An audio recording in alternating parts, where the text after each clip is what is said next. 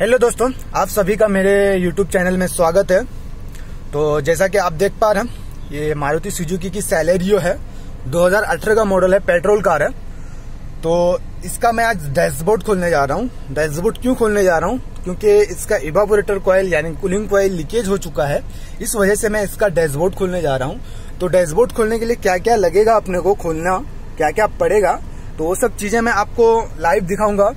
तो जैसा कि आप देख पा रहे हैं, गाड़ी अभी पूरी फिट है और इससे पहले मैं 2014 या शायद 2012 का सेलेरियो का डैशबोर्ड खोल चुका हूँ, शायद डिस्क्रिप्शन में आप जाएँगे तो वहाँ आपको मिल जाएगा। जैसे आपका कौन सी मॉडल है तो डिस्क्रिप्शन बॉक्स में जाएँगे, ये वीडियो के डिस्क्रिप्शन में जाएँगे तो उसका लिंक दिया हुआ रहेगा। तो वहाँ जाकर के आप देख सकते हैं, आपका जो मॉडल है, वो सिलेक्ट करके आप देख सकते हैं वीडियो तो चलो फिर मैं इसका डैशबोर्ड खोलना स्टार्ट कर रहा हूँ। जैसा कि देख पा रहे हैं, अभी गाड़ी चालू है।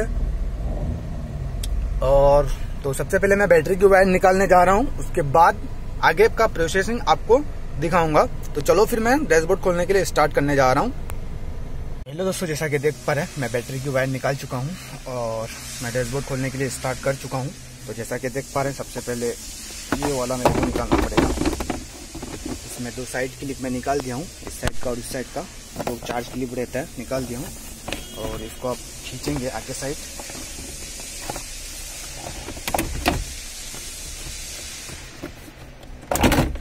जैसा कि देख पा रहे हैं, ये निकल चुका। उसके बाद ये वाला बॉक्स निकाल देंगे तो बेटर रहेगा। नहीं भी निकालेंगे तो कोई प्रॉब्लम नहीं है इसको। क्योंकि इसको निकालने के लिए सबसे पहले ये खोलना पड़ेगा आपको, ये वाला। तो मैं इसको ऐसे ही रहने देता हूँ, या फिर रहने देता हूँ, इसको कोई प्रॉब्लम नहीं है। तो उसके बाद गियर बॉक्स को खोल के पलटी मारना पड़ेगा मेरे को, जैसा कि आप देख पा रहे हैं। इसमें चार बारह नंबर दिया हुआ रहता है। ये रही, एक इस साइड रहा। एक अंदर साइड है और एक ये रही। ये चारों बारह नंबर खोल के और ये वाला पट्टी जो दिया है, साइड में एंगल दिया है, दोनों साइड का खोलना पड़ेगा। इसमें भी बारह नंबर दिया है। इसमें भी दिया है, ये वाली पट्टी में। तो ये बारह नंबर खोल के फिर मैं गियर बॉक्स को पलटी मारता हूँ। पलटी मार के बाकी साइड पैनल वगैरह खोल के फिर आगे आपको दिखाता हूँ क्या क्या खोलना पड़ रहा है मेरे को। तो चलो फिर खोलने के लिए स्टार्ट करते हैं जैसा कि देख पा रहे हैं, मैं चारों बारह नंबर ये खोल के गियर बॉक्स को पलटी मार दिया हूँ और साइड का, दोनों साइड का पट्टी दिया है ये वाला। तो ये यहाँ बैठता है, इस साइड का और इस साइड का दोनों खोल दिया हूँ, खोल के इसको इधर फिक्स कर दिया हूँ। उसके बाद जैसा कि देख पा रहे हैं, ये वाला पैनल खोल दिया हूँ साइड का और यहाँ दस नंबर दिया है, ये खोलना पड़ेगा। उसके बाद यहाँ दस नंबर दिया है, उसके बाद ये टी बॉक्स का ऊपर का जो पैनल दिया है दो स्क्रू रहता है, एक यहाँ रहता है, एक यहाँ रहता है, खोल के आगे से खींचेंगे तो ये निकल गया, जैसा कि आप देख पा रहे हैं। उसके बाद अपने को करने की ज़रूरत है ये सब सॉकेट। ये इतने सारे सॉकेट जो देख रहे हैं। ये वाला सॉकेट जो कि फीज बॉक्स में रहता है, ये सब सॉकेट खोलना पड़ेगा आपको। उसके बाद ये एक अर्थिंग का दिया है। यहाँ खोलना पड़ेगा और ये पैनल खोलना पड़ेगा आपको यहाँ का। उसके बाद स्टेयरिंग कॉलम को खोलना पड़ेगा आपको। खोल के बाहर ले लेंगे तो ज़्यादा बेटर रहेगा। कोई अड़चन ना दे अपने को ताकि उसके बाद साइड में दो बारह नंबर दिया है, एक ये।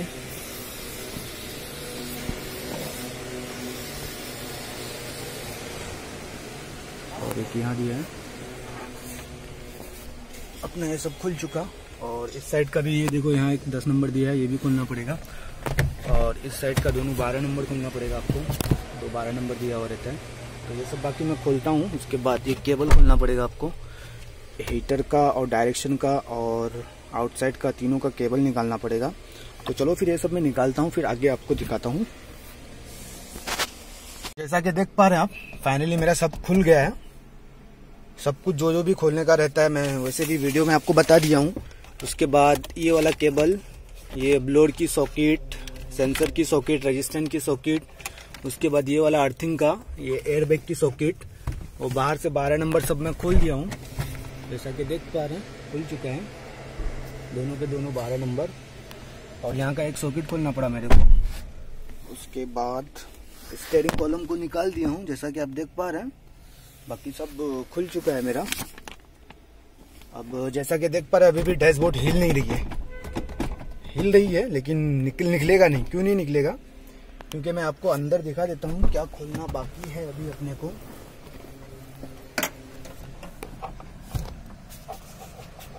जैसा कि देख पा रहे हैं आप, ये वाली बारह नंबर आपको खोलना पड़ेगा। ये और ये जो बारह नंबर, ये पट्टी ये वाली खोलेंगे तो भी चलेगा, ये वाली खोलना पड़ेगा। इसको उल्टा साइड दिया हुआ रहता है यहाँ बारह नंबर। ये पट्टी जो दिया हुआ रहता है तो ये डैशबोर्ड बाहर से इसको कुछ दिया हुआ नहीं रहे। इस वजह से ये वाला दिया है तो ये खोलने के बाद ही खुलेगा। और ये वाला केबल दोनों निकाल दिया हूँ। स्टेयरिंग कॉलम देख पा रहे हैं। बाहर ले लिया हूँ मैं। तो चलो फिर मैं इसको निकालता हूँ, फिर आगे आपको दिखाता हूँ। जैसा कि मैंने आपको नीचे दिखाया, वो बारह नंबर। तो ये मीटर का कवर खोलेंगे। मीटर का कवर खोलने के बाद ये सामने ही रहता है, जैसा कि देख पा रहे हैं। ये वाली है बारह नंबर, जो कि खोलेंगे। ये वाली बोल्ट है खोलने के बाद। अब अपना डैशबोर्ड पूरा बाहर आ जाएगा। तो चलो फिर मैं इसको पलटी मारता हूँ, पलटी मार के बाहर लेके दिखाता हूँ। क्लाइमेट कंट्रोल यूनिट तो बाद में निकलेगा। पहले डैशबोर्ड अपना निकलेगा, फिर क्लाइमेट कंट्रोल यूनिट निकलेगा। तो चलो फिर मैं इसको पलटी मारता हूँ। पलटी मार के फिर आगे आपको दिखाता हूँ। बाहर से अभी मेरे को कुछ खोलने की ज़रूरत नहीं है। तो चलो फिर मैं पलटी मारता हूँ, फिर आगे आपको दिखाता हूँ। फाइनली जैसा कि देख पा रहे हैं डैशबोर्ड अपना पलटी मार दिया हूँ मैं। अब रही ये मेरा क्लाइमेट कंट्रोल यूनिट जो कि आप देख पा रहे हैं। ये वाला दस नंबर। एक यहाँ रहेगी दस नंबर। उसके बाद इस साइड तो नहीं दिख रहा है। एक यहाँ है और एक यहाँ है। चार दिया अंदर से टोटल और इसका फ़िल्टर देख पा रहे हैं आप कितना कचरा हो गया है जैसा कि देख पा रहे हैं। फुल गान पड़ा हुआ है। तो चलो फिर ये सब मैं खोलता हूँ और बाहर से अपने को हीटर का पाइप कूलिंग कॉइल का ज्वाइंट वो सब खोलना पड़ेगा। तो चलो फिर मैं ये सब अंदर का खोल के फिर बाहर का खोलता हूँ। तो चलो फिर खोलने लग जाते हैं। फिर आगे आपको दिखाता हूँ। तो जैसा कि देख पा रहे हैं, मैं फाइनली अंदर का चारों दो नट दो बोल्ट खोल चुका हूँ। तो अभी भी जैसा देख पा रहे हैं, हिल रहा है बट बाहर नहीं आ रहा है। क्यों नहीं आ रहा है? एक तो बाहर से दिया हुआ रहेगा नट और हीटर का और कूलिंग कॉइल के पास का एक्सपेंशन वाल के पास का ज्वाइंट निकाला नहीं, इसकी वजह से निकल नहीं रहा है। तो चलो फिर मैं बाहर लेके जाता हूँ आपको। वो सब खोल के दिखाता हूँ। चलो फिर, बाहर चलते हैं अपन। जैसा कि देख पा रहे हैं, ये एक्सपेंशन वाल के पास का ज्वाइंट खोल दिया हूँ मैं, और ये हीटर का पाइप खोला नहीं हो अभी। ये खींचेंगे क्लिप निकाल दिया हूँ और खींचेंगे, निकल जाएगा।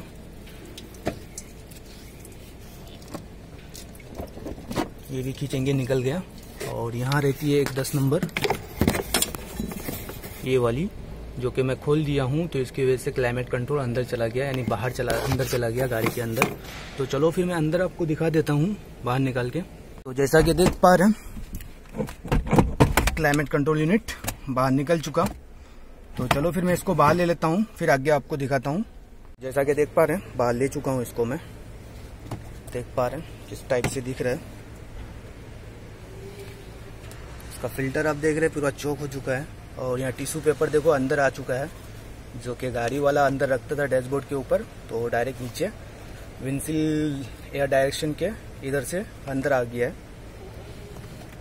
तो चलो फिर मैं इसको खोलता हूँ, खोलने के बाद फिर आगे आपको दिखाता हूँ। तो जैसा कि देख पा रहे हैं, मैं लगभग इसका तीन स्क्रू तीन स्क्रू रहता है, ये वाली पट्टे में आप देखेंगे। ऐसा करके देख लेंगे एक बार। तीन चार स्क्रू दिया हो रहे थे तो मैं तीनों स्क्रू खोल दिया हूँ और उसके बाद ये वाली लॉक रहती है। ये वाली लॉक को खोलने का। उसके बाद ये इसको बाहर साइड खींचेंगे, निकल जाएगा।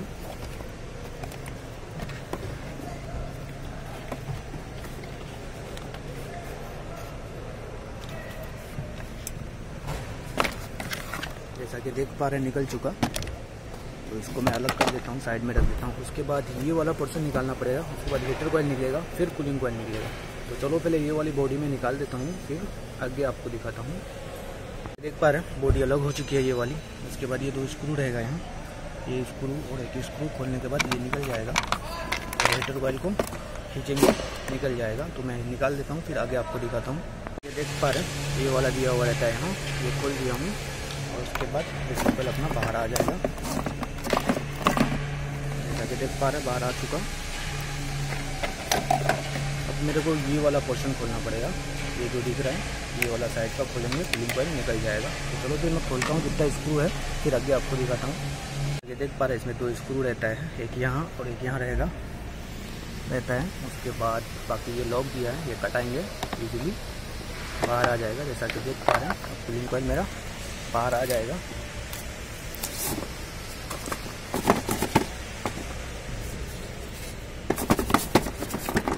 जैसा कि देख पा रहे हैं, बाहर आ चुका कूलिंग कोयल और नया वाला कूलिंग कोयल का सबसे पहले मैं आपको प्राइस दिखा देता हूँ, कितने का है।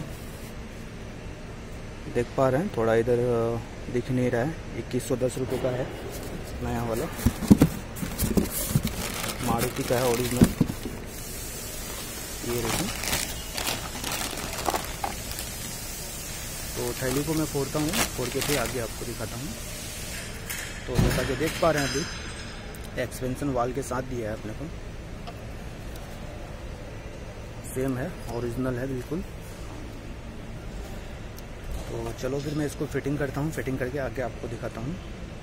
तो सबसे पहले आप ये सेंसर जो है कूलिंग कॉइल में दिया हुआ रहता है। ये सेंसर का पोजीशन जहाँ है, वहीं तो इसमें भी डाल देना आप।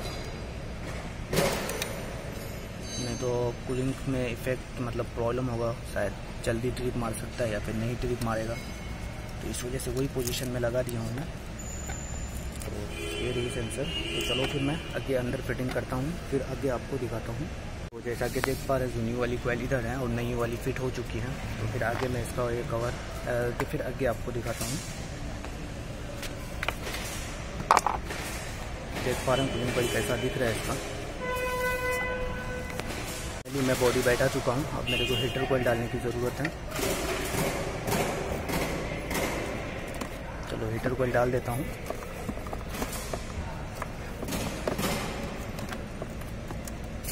जैसा कि देख पा रहे हैं, डाल चुकी हीटर कोयल और ये वाली यहाँ का लॉक जो फिक्स करके रखता है, इसको तो वो बैठा देता हूँ, फिर आगे आपको दिखाता हूँ। फाइनली अपना हीटर ऑयल का सब फिट हो गया। अब ये वाली बॉडी मेरे को डालना पड़ेगा, इसमें लॉक करना पड़ेगा। तो ये बॉडी को लॉक करके फिर आगे मैं आपको दिखाता हूँ। जैसा कि देख पा रहे हैं फाइनली ये फिट हो चुकी है मेरा। अब इसको मेरे को ऊपर का कवर यानी ब्लोर वाला पोर्शन अंदर डालता हूँ। फिर आगे आपको फिक्स करके प्रॉपर तरीके से आगे दिखाता हूँ। तो जैसा कि देख पा रहे हैं फाइनली पूरा फिट हो चुकी है। देख पा रहे हैं फाइनली प्रॉपर तरीके से फिट हो चुका। इसका फ़िल्टर आप देख लीजिए एक बार। देख पा रहे कितना घान से पड़ा हुआ है। तो चलो मैं इसको साफ़ करके फिटिंग करके फिर गाड़ी में ले जा करके फिटिंग प्रोसेस में लेके जाता हूँ। तो चलो फिर आगे अपना काम में लग जाते हैं। तो फाइनली जैसा कि देख पा रहे हैं क्लाइमेट कंट्रोल यूनिट बैठ चुकी है अपना। अब फिटिंग हो चुकी है अंदर का। सिर्फ़ बाहर से मेरे को फिटिंग करना बाकी है। फ़िल्टर भी मैंने क्लीन कर दिया, जैसा कि आप देख पा रहे हैं। पूरा प्रॉपर तरीके से फिट हो चुका है। तो चलो फिर मैं बाहर भी आपको दिखा देता हूँ फिटिंग करके। तो चलो फिर बाहर लेके जाता हूँ आपको। तो जैसा कि देख पा रहे हैं एक्सपेंशन वाल हीटर का पाइप और वो जो रही दस नंबर वो जो दिख रहा है, वो वाला सब प्रॉपर तरीके से फिट हो चुका। तो चलो फिर मैं अंदर आपको लेके जाता हूँ, अंदर डैशबोर्ड अंदर भी दिखा देता हूँ थोड़ा। तो जैसा कि बाहर दिखाया मैंने, बाहर से सब फिट हो गया है, अंदर से भी अपना सब फिट हो चुका है। तो चलो फिर मैं आपको डैशबोर्ड अंदर डाल करके फिर आगे आपको दिखाता हूँ। तो चलो फिर लग जाते हैं फिटिंग करने में। जैसा कि देख पा रहे फाइनली मैं डैशबोर्ड डाल दिया हूँ। जैसा कि आप देख पा रहे हैं डैशबोर्ड डाल चुका हूँ। और चलो फिर मैं आगे फिटिंग वगैरह करता हूँ धीरे धीरे फिर आगे आपको दिखाता हूँ। तो हेलो दोस्तों, जैसा कि देख पा रहे हैं फाइनली ये सब गियर बॉक्स वगैरह, सब पट्टी वगैरह सब बैठा चुका हूँ मैं। स्टेयरिंग कॉलम देख पा रहे हैं, सब टाइट हो गया वो air direction flap heater flap का केबल दोनों भी लग चुकी है। फिर ये इधर की जो जितनी सारी सॉकेट खोला था, सब लग चुकी है। जैसा कि आप देख पा रहे हैं, बाहर का भी, बाहर से भी दोनों बारह नंबर लग चुका है। उसके बाद क्लस्टर मीटर के अंदर जो रहता है, बारह नंबर वो भी लग चुका है। और बाकी ये सब छोटा मोटा काम है, इस साइड का भी सब सॉकेट वगैरह लग चुका है। देख पा रहे हैं। तो इस साइड का भी बारह नंबर फिटिंग हो चुका है। तो बाकी सब फाइनली फाइनल फिटिंग करके फिर मैं आगे आपको दिखाता हूँ। तो चलो फिटिंग करने लग जाते हैं। हेलो दोस्तों, जैसा कि देख पा रहे हैं फाइनली सब फिट हो गई मेरी गाड़ी। जैसा कि आप देख पा रहे हैं, मैंने जो जो भी कुछ खोला था, सब फिटिंग कर दिया हूँ। जैसा कि आप देख पा रहे हैं प्रॉपर तरीके से सब फिट हो गया है। नीचे भी देख लीजिए आप, सब फिट हो चुका है। अभी बैटरी की वायर मैं निकाला नहीं हूँ। तो चलो फिर मैं इसको अब गैस चार्जिंग प्रोसेस में लेके जा रहा हूँ। गैस चार्जिंग करता हूँ, फिर आगे आपको दिखाता हूँ। तो चलो फिर, जैसा कि आप देख पा रहे हैं, हाई। और लॉ मैंने लगा दिया है, और इसको वैक्यूम में लगा देता हूँ।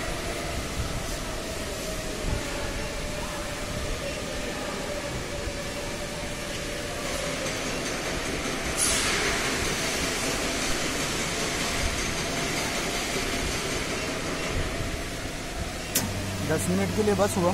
चलो फिर दस मिनट बाद हम फिर मिलते हैं। तो फाइनली आप देख पा रहे हैं। अपना वैक्यूम कंप्लीट हो गया। और जैसा कि देख पा रहे हैं, इसमें ऑयल मार देता हूँ।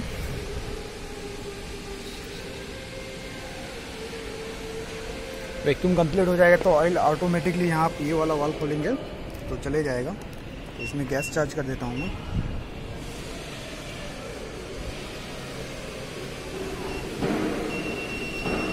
तीन सौ ग्राम गैस मारूँगा इसमें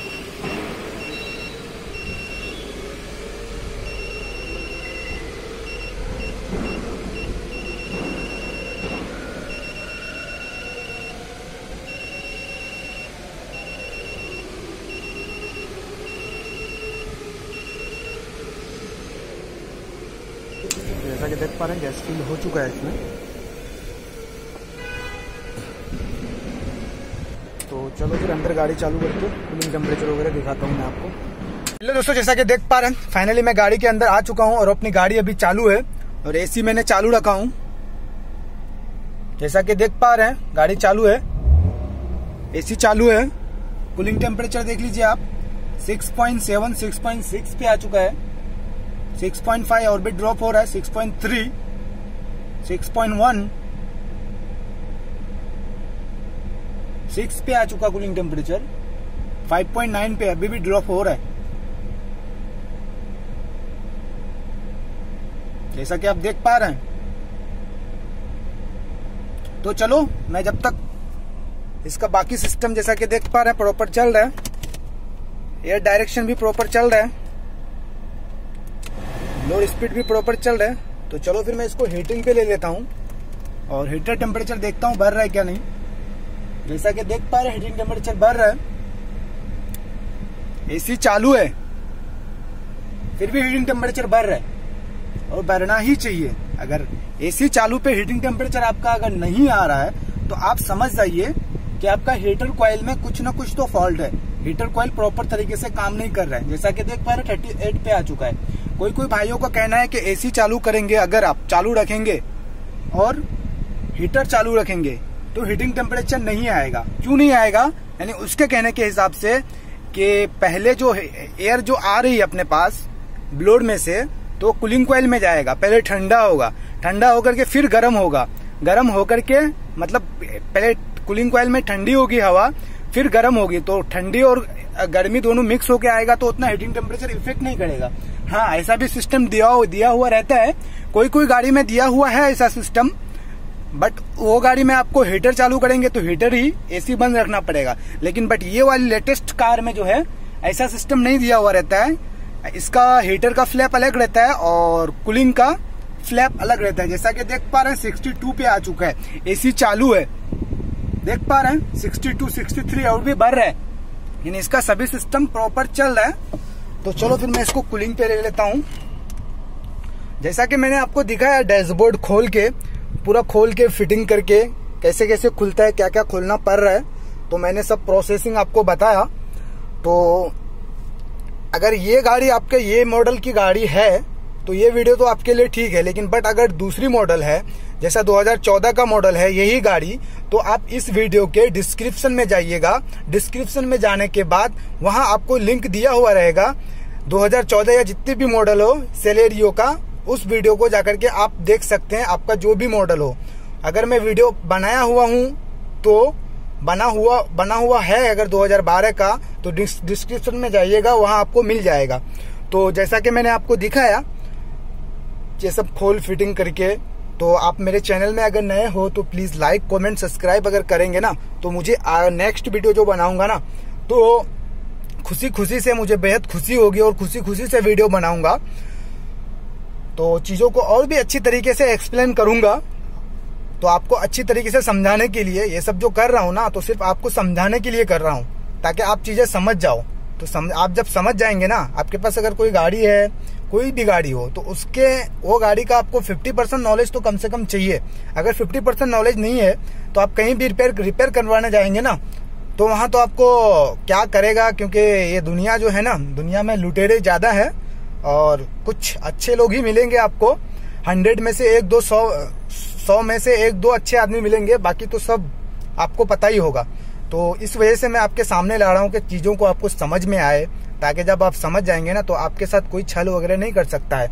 तो चलो फिर, जब तक के लिए बाय बाय और मेरे चैनल में आप नए हो तो प्लीज़ लाइक कॉमेंट सब्सक्राइब करें। ताकि सब्सक्राइब लाइक कॉमेंट करेंगे तो मैं नेक्स्ट वीडियो जो बनाऊँगा तो अच्छी तरीके से एक्सप्लेन करने की कोशिश करूँगा और खुशी खुशी से बनाऊँगा वीडियो तो चलो फिर, जब तक के लिए बाय बाय टेक केयर अल्लाह हाफिज।